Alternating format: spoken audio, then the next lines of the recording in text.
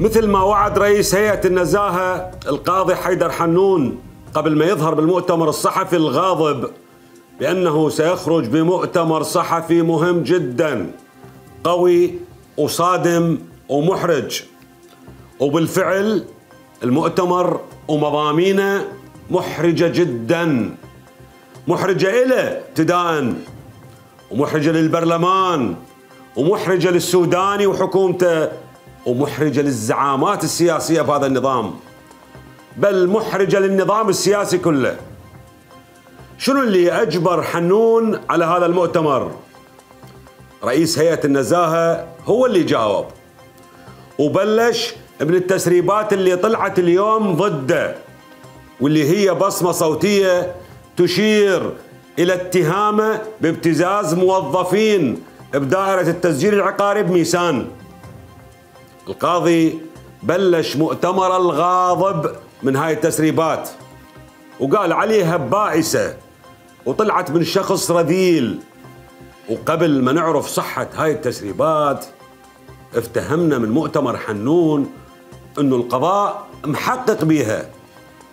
واللي صار بالدقائق اللاحقة من المؤتمر هو إعادة فرش لتغول نور زهير على أملاك وأموال الدولة وإطلاق الظنون باتجاه قاضي التحقيق بالقضية. وتوجيه ضربات مميتة للبرلمان. ويبدو من الواضح جدا وبهاي الحالة جاي نشوف المؤسسات العليا للدولة متداخلة متصارعة وسط الضباب الكثيف اللي أطلقه حنون. ومن يصير ضباب تضيع هواي أشياء وأشخاص وحتى تليفونات مثل آيفون محمد جوحي.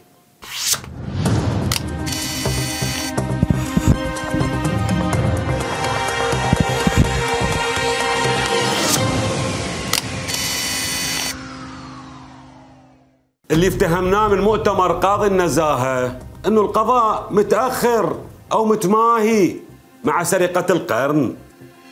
واستمرار نور زهير بأعماله غير الشرعية داخل الدولة.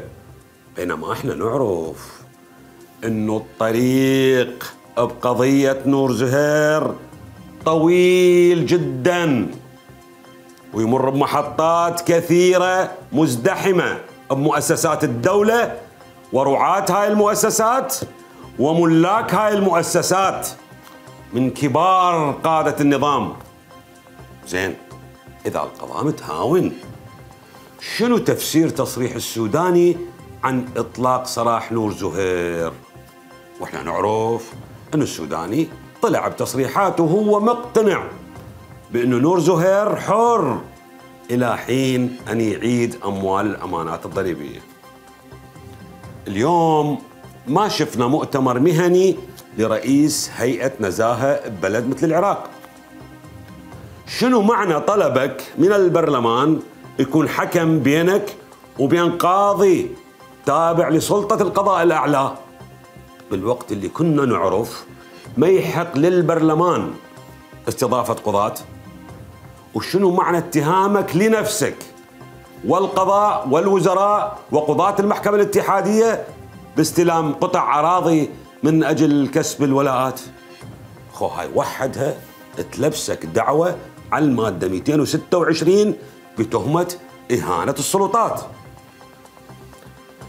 الواضح أنه حنون ما طلع وارتجل المؤتمر من بنات أفكاره بل استحصل ضوء أخضر من جهة ما يجوز أعلى منه وذلك لإثارة هاي العاصفة الترابية.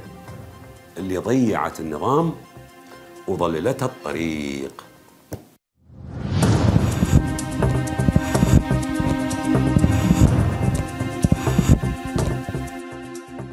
الاختلاف على نتائج الانتخابات الأخيرة انطانا بليلة الخضراء نموذج عن الاقتتال والاحتراب اللي ممكن يصير من تختلف القوى العظمى داخل النظام السياسي.